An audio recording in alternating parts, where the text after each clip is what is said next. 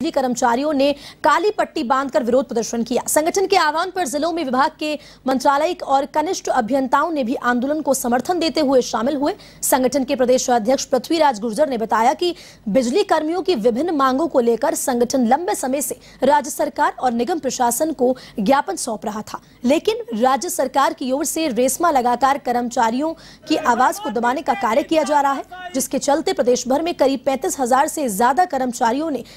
गांधीवादी तरीके से अपने अपने कार्यस्थल पर काली पट्टी बांधकर विरोध जताया।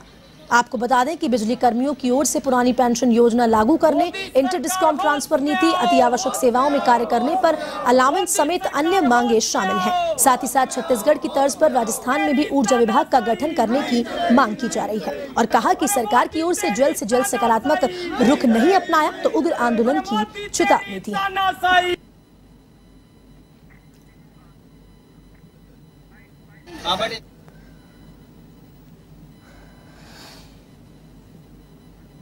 जहाँ केंद्र की भाजपा सरकार विद्युत संशोधन बिल 2022 लागू करके बिजली को सार्वजनिक क्षेत्र से निजी हाथों में देने का प्रयास कर रही है, जिसकी वजह से आम उपभोक्ता के साथ साथ बिजली कर्मचारियों की सेवा शर्तें सुरक्षित